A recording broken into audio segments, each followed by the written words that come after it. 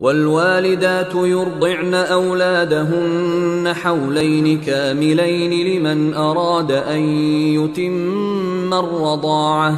وعلى المولود له رزقهن وكسوتهن بالمعروف. لا تكلف نفس إلا وسعها.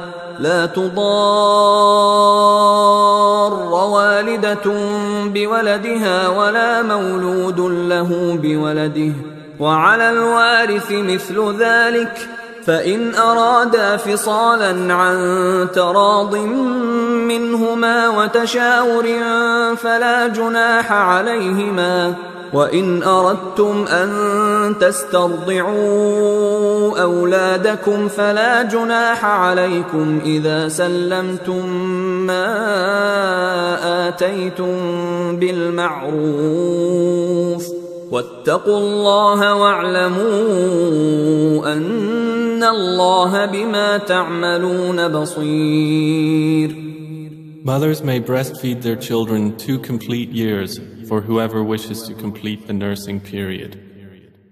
Upon the father is the mother's provision and their clothing according to what is reasonable. No person is charged with more than his capacity. No mother should be harmed through her child, and no father through his child.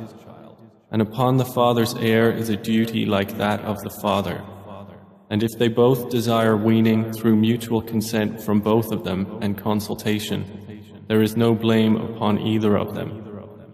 And if you wish to have your children nursed by a substitute, there is no blame upon you as long as you give payment according to what is reasonable. And fear Allah and know that Allah is seeing of what you do.